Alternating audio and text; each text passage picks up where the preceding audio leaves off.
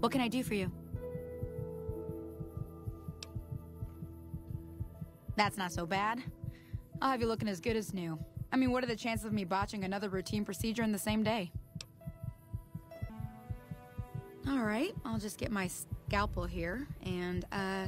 Did I leave that sitting outside? Well, you know what? Free tetanus shot.